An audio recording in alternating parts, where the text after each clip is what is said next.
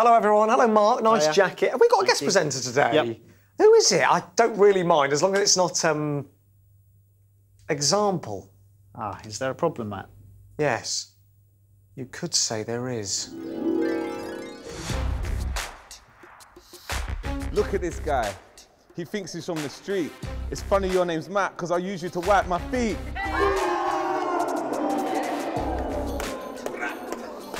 Come on in, come, come. Your name is Example. You used to have hair like a hedgehog.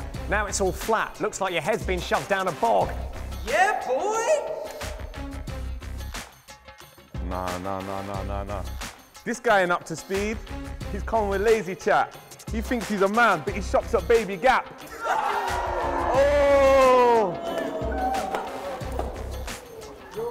Your real name is Elliot Gleave. How about you, Elliot? Leave.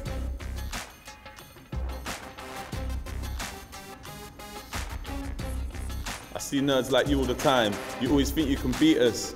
Who is this guy? He stole his wardrobe from a fetus. You're